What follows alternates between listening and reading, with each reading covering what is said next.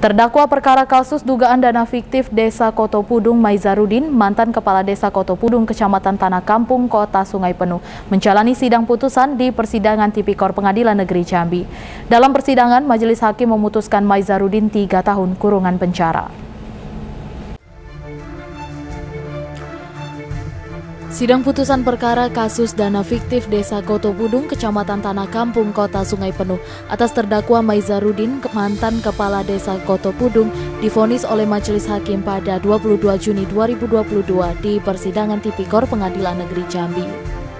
Di persidangan, Majelis Hakim menyatakan bahwa terdakwa tidak terbukti secara sah dan meyakinkan bersalah melakukan tindak pidana korupsi secara bersama-sama, sebagaimana dalam dakwaan primer namun terbukti bersalah sebagaimana dakwaan subsider pasal 3 ayat 1 junto pasal 18 ayat 1, 2 dan ayat 3 Undang-Undang Nomor 31 Tahun 1999 sebagaimana telah dirubah dan ditambah dengan Undang-Undang Nomor 20 Tahun 2001 tentang pemberantasan tindak pidana korupsi junto pasal 55 ayat 1 ke 1 KUH pidana junto pasal 64 ayat 1 KUH pidana.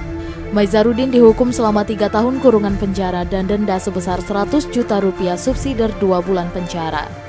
Selain hukuman kurungan penjara, terdakwa diwajibkan untuk membayar uang pengganti sebesar kurang lebih 340 juta rupiah.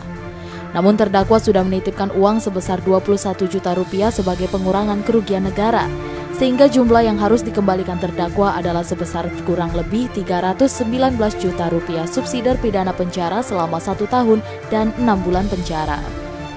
Fonis tersebut lebih ringan dari tuntutan jaksa penuntut umum yakni lima tahun enam bulan kurungan penjara.